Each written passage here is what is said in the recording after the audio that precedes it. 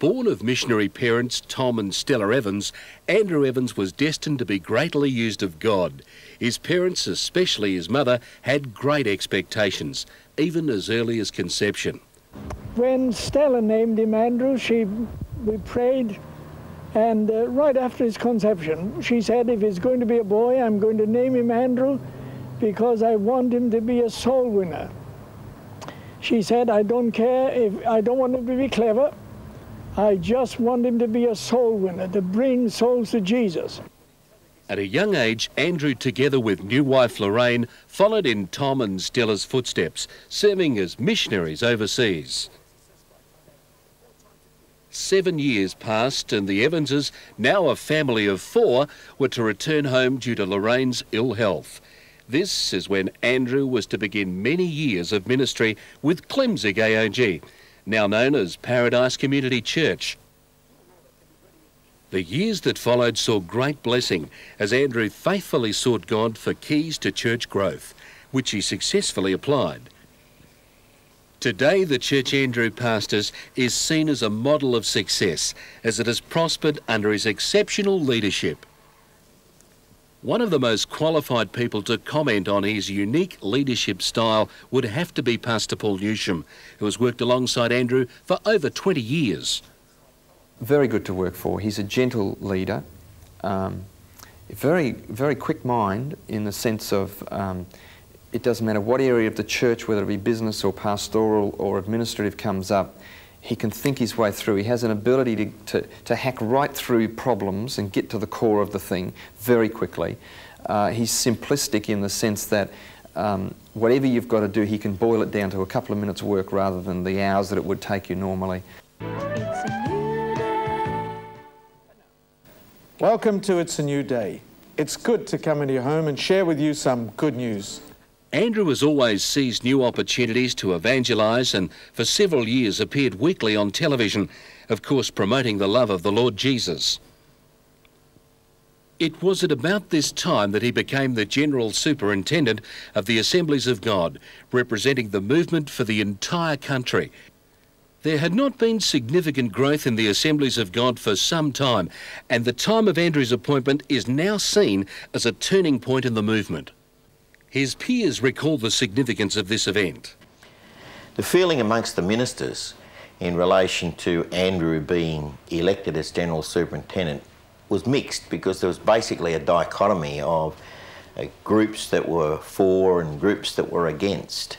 But because of Andrew's great style in his ministry and his, his peacemaker heart and his attitude towards pulling people on side, within the space of that first two year period, he won almost unanimous endorsement for his leadership.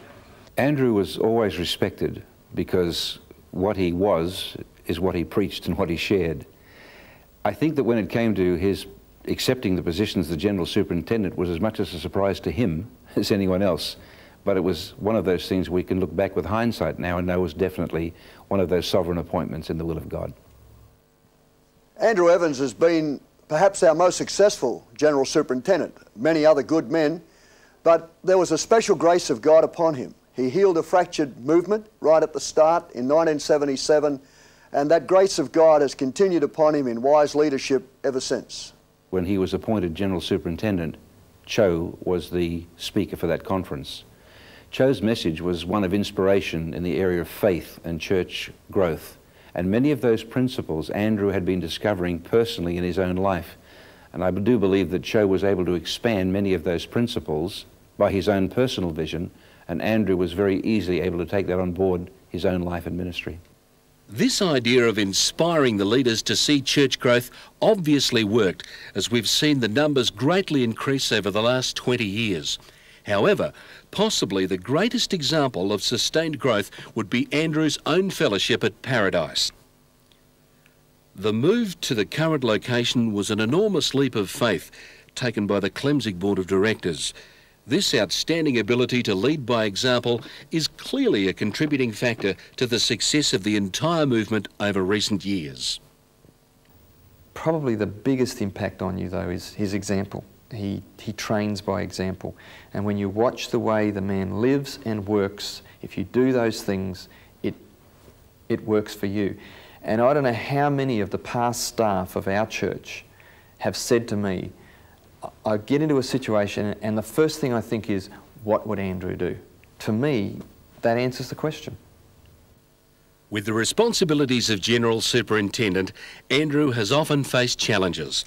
As a man of prayer, he would always seek God's will, considering everyone's perspective, particularly when seeking to resolve opposing points of view. Andrew always brought us back to biblical principles. What does God's Word say? And he also illustrated many times from church history and from his own experience how God had moved. One of the things he did continually was to say that God was always the God of the unexpected, and we mustn't put God into a box. I think that was one of his greatest secrets, to keep us with an open mind and an open heart to what God could do.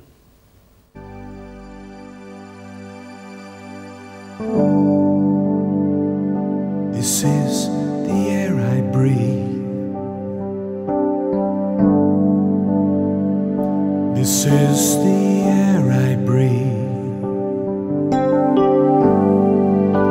It's